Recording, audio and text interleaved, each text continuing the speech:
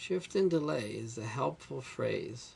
It's meant to give you a visual way of looking at the relationship between two functions, f of t and u a of t times f of t minus a. Literally, the u a of t times f of t minus a is shifting f and then delaying its beginning. That's why we call it shift and delay. For example, if you have a parabola f of t equals t squared, then to say u3 of t times f of t minus 3 literally means shift that parabola 3 units to the right, full parabola, but multiply it by the Heaviside function means it's equal to 0 until you get to 3 seconds.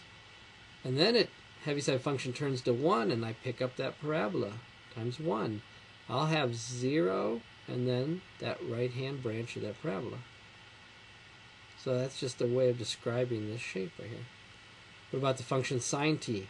To say u pi of t times f of t minus pi, u pi of t times sine of t minus pi, that just means that I'm going to take the sine function,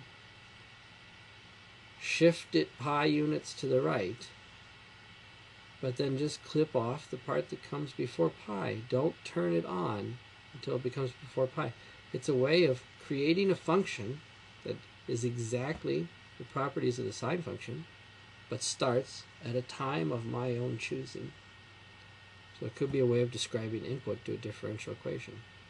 It's a very handy way of looking at modifying a function.